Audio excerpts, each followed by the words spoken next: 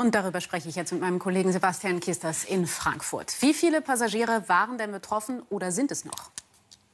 Also die Lufthansa rechnet mit 10.000 betroffenen Passagieren. Man muss sich vorstellen, gestern waren einige schon in ihren Flugzeugen und saßen im Flugzeug an der Startbahn, dachten, in wenigen Minuten geht es los. Als das Signal kam von der Bundespolizei, alle zurückkommen. Die äh, Flugzeuge sind dann umgedreht, zurück von der Startbahn an die Gates gerollt und alle mussten wieder aussteigen und alle mussten zurück hinter die Sicherheitskontrollen. Weil man dachte, wenn diese Frau tatsächlich etwas wie Sprengstoff äh, in den Sicherheitskontrollen Sicherheitsbereich gebracht hat, dann könnte sie es ja weitergegeben haben. Und äh, man wusste natürlich nicht, an wen dann möglicherweise. Also hat man alle Flugzeuge zurückbeordert. Die Lufthansa hat dann überlegt, was machen wir mit dieser Situation, als es dann 7000 Menschen waren, die sich äh, versammelt hatten, wieder vor den Sicherheitskontrollen, war klar, das wird jetzt nichts, was in einer, vielleicht zwei Stunden zu lösen ist. Äh, man ging da eher von fünf, sechs Stunden aus und hat gedacht, äh, bevor man jetzt nicht nur die Passagiere in Frankreich Frankfurt verprellt,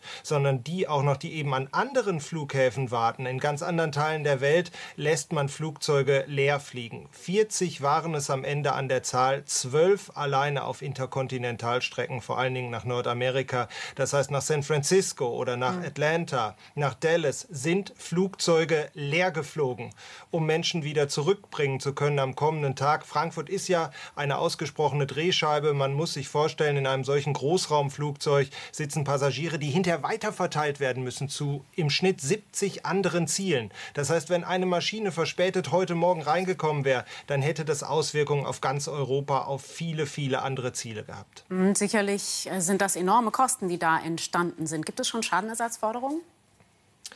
Die gibt es nicht. Also die Lufthansa äh, ist da auch sehr vorsichtig. Dieses Unternehmen sagt ja immer wieder, Sicherheit hat für uns oberste Priorität.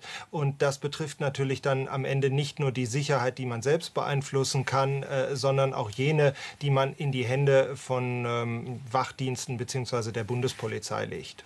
Diese Frau, die den Vorfall offenbar versehentlich ausgelöst hat, was weiß man über sie?